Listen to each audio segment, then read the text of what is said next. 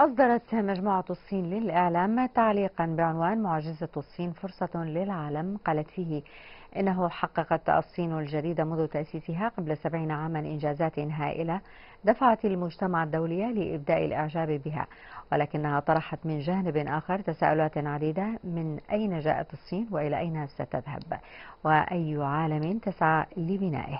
وكيف تتعامل مع الخارج وللإجابة على هذه الأسئلة؟